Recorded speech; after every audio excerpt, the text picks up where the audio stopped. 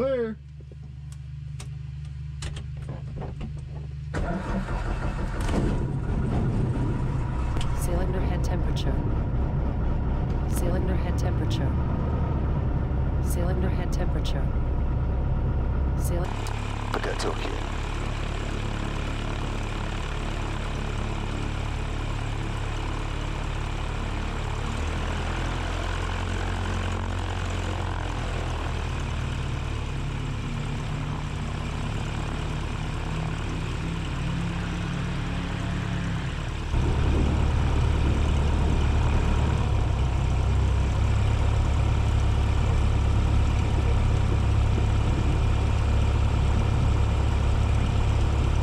Glenn's getting pretty close to flying his velocity, so he's out doing a lot of engine running. That thing sounds like a NASCAR when he runs it. Got a big LS3 Corvette engine in it. Pretty cool. I think it's gonna be pretty bumpy today. I flew yesterday and I flew this morning. And this morning it was just perfectly smooth. It was really nice. But looking at these clouds rolling in, thinking it's going to be a little bumpy this evening. I just posted a picture this morning on the on Facebook on the Zenith Flyers group. I just took a picture of my panel and posted it on there. And somebody was asking what my uh, my normal fuel burns and cruise speed and all that kind of stuff is, and I actually don't remember. Now that I switched this over from miles an hour to knots, um, I really pay attention. And a lot of times I just bring the power back and I'm just kind of farting around, so I'm not in any hurry to go anywhere or really care what the cruise speed is. So if it's not too bumpy, that's kind of the plan for this flight. I'm going to answer your question with the video. So I'm going to go up and uh, we'll get some different power settings and we'll see what uh, what I get for cruise speeds. Price traffic, 7 Mike Delta departing runway 27 at Price. All right, I'm going to put in about two seconds of flaps. I want to see how short I can get off the ground here. Right at the end of the runway.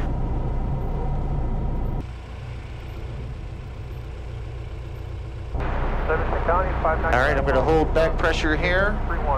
Here we go.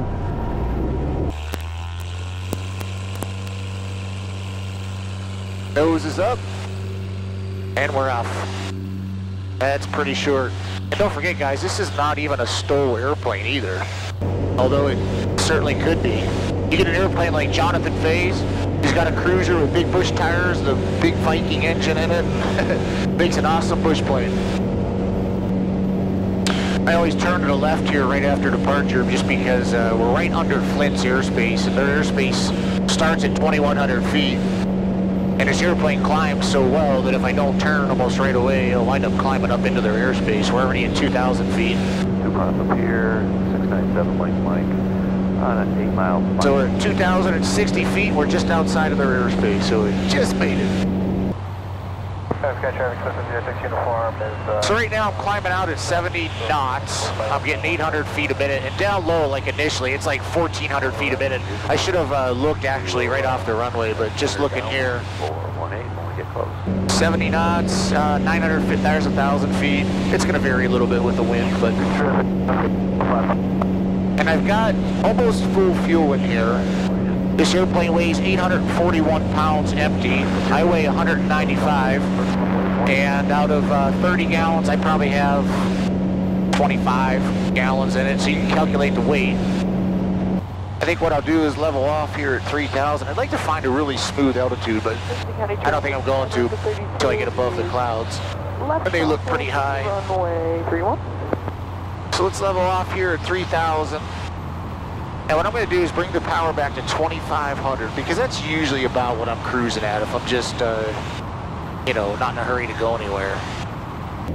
All right, there's 25. There's 25. It's cycling between 2,500 and 2,510. That's about as close as you're going to get it. So Departing to the we'll get it trimmed out for cruise here best I can. It is a little bit bumpy out.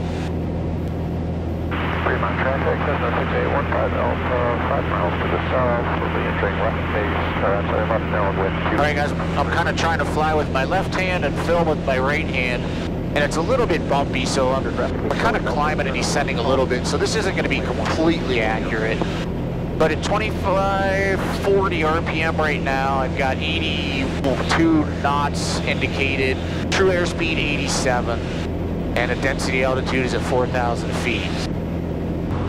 All right, so now at 2700 RPM, I've got 90, about average, it looks like it's bouncing around a little bit. It's about 92 knots at 2740 RPM. You can kind of see it's a little bumpy out here. I wish it was a little bit smoother. I should have done this earlier today. But my fuel burn, I forgot to look at 2500. Right now it's at 4.8 gallons an hour. Downwind 31. What I'll do is I'll bring this power back to 25 like I had it and I'll see what the fuel burn is there. Clear traffic, eight Charlie Delta, turn left, base runway 18, clear traffic. All right, 2500 here, it's 4.4. And there's our 80, we're getting 83 knots indicated.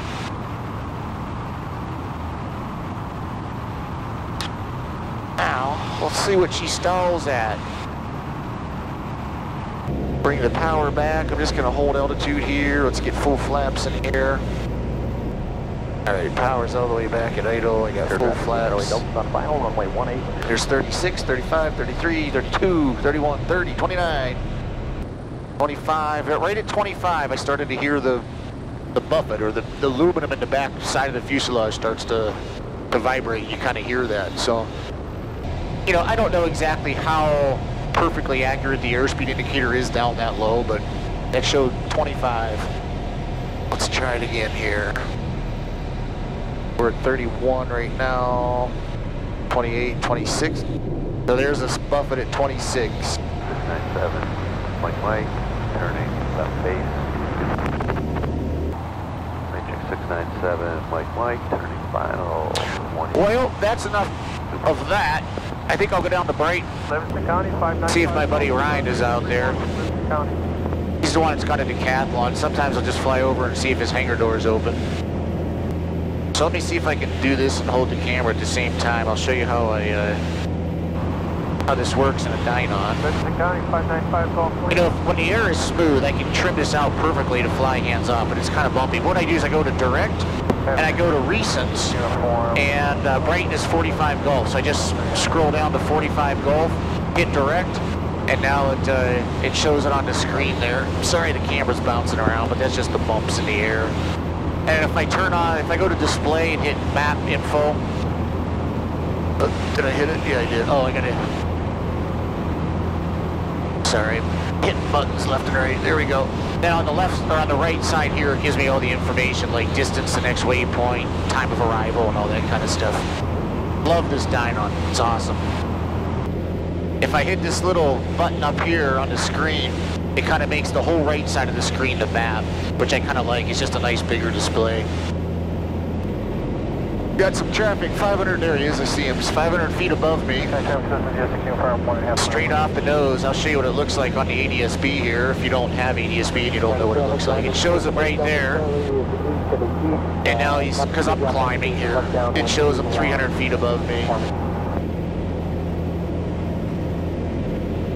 You guys can kind of tell a little bit how bumpy it is when I when I hold that camera. It just gets bounced all around like that.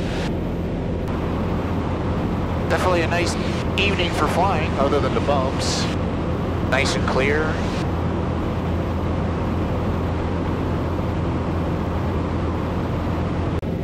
So if I go back here to info, hopefully maybe you can see it with that camera. I can go to com, and then it has the the com frequency for Brighton right there, and I can just hit tune com, and what that does, it puts it in a standby here, and then I just hit this button to bring it up to the active frequency.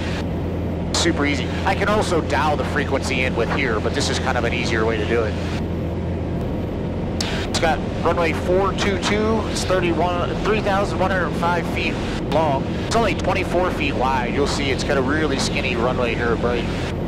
It also tells me out here the elevation, 973 feet, so I can kind of get an idea. It says traffic pattern altitude 2000. Just all kinds of information is on this Dynon.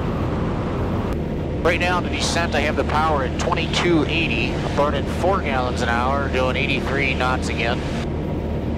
And 500 feet a minute on the descent. The lakes are still frozen. I bet that ice is probably getting pretty thin right now though. We've had some pretty warm weather. There's a house down there now that I actually looked at years ago that I was gonna move to. Um, but my realtor said the house was just overpriced. And I remember like the, the hangar door was crooked or something on it too.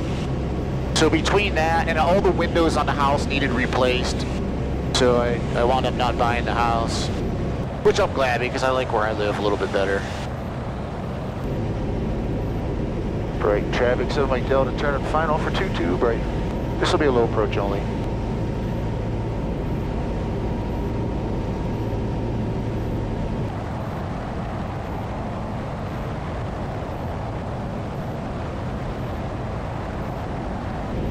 There's our 24 foot wide runway.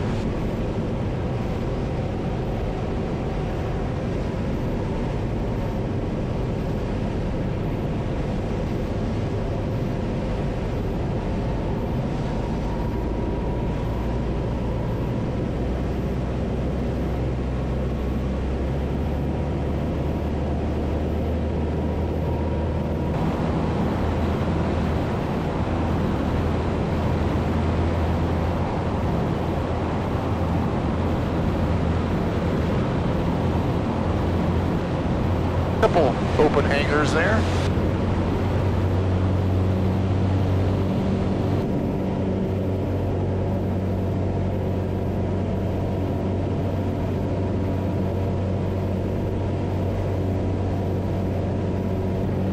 Bright traffic, 7 by Delta, Departure 22, headed uh, northbound, right.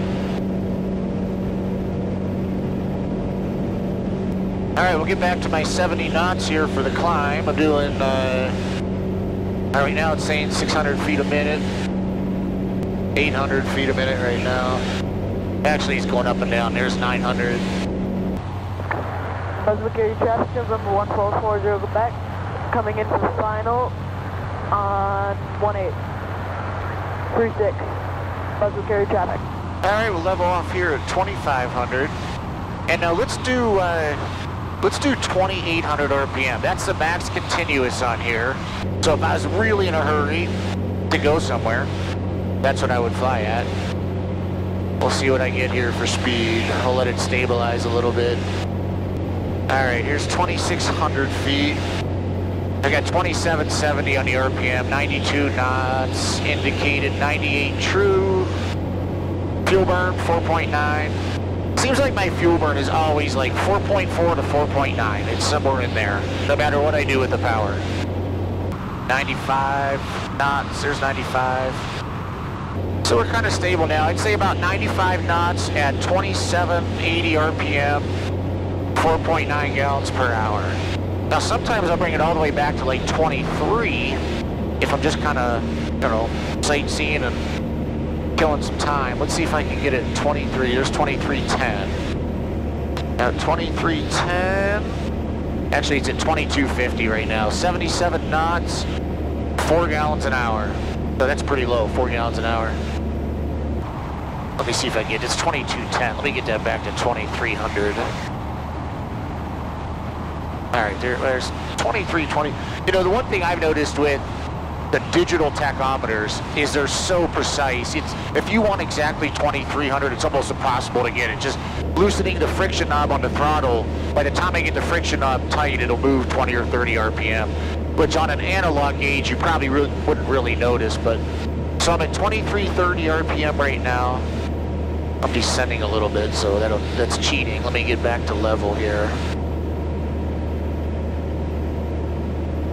All right, uh, vertical speed indicator is zero, 72 knots, 76 true, and 4.1 gallons an hour. So this is what I'll do sometimes if I'm just out sightseeing, just kind of like tonight. I'm not in any hurry to go anywhere, and I'm just out playing around, enjoying the evening or the morning. About 2,300 RPM, I'm burning 4.1 gallons an hour, and I'm cruising around here right now at 75 knots. So I'm going to bring this up a little bit to about 2,600 just for the flight back. There's 20, ooh, 2,600 exactly. Right now showing 82 knots. 84, 4.7 gallons per hour. 85, 86 knots. It's getting pretty, it's about leveled out there, so 86 knots. That's 91 true. All right. Now I just follow Route 23 here, right up to uh, my airport. I'll go direct, recents, 9 Golf 2, hit direct again, that takes me right on home. That's always a good time for a steep turn.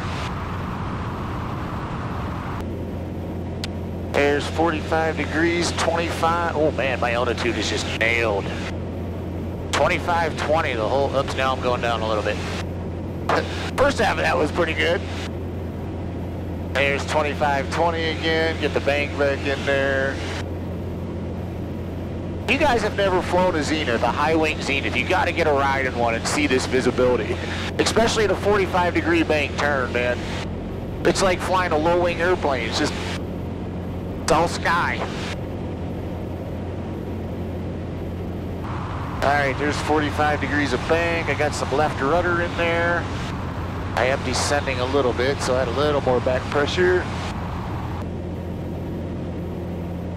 Fun stuff.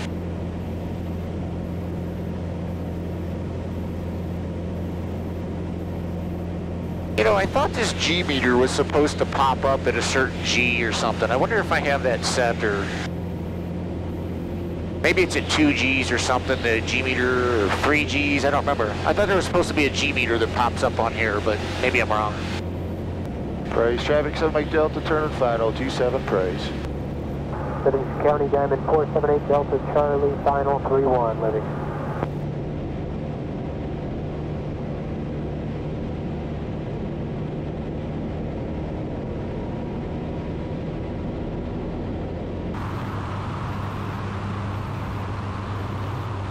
Switch fuel tank.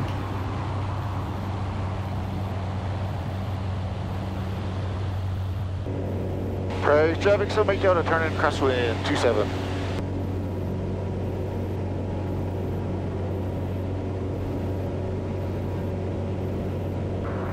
Livingston County, 595 call, Lima, base 31, Livingston County.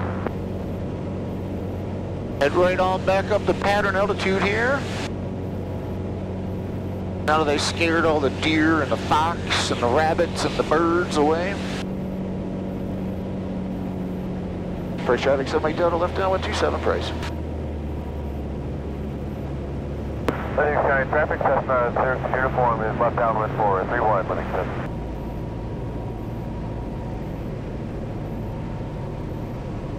A little crosswind from the right. Almost straight down the runway. Come.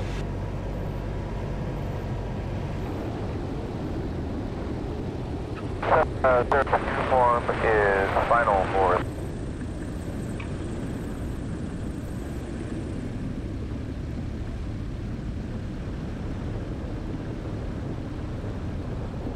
Four seven eight will extend downwind, uh, Livingston County. Well, I flew once yesterday. I flew twice today.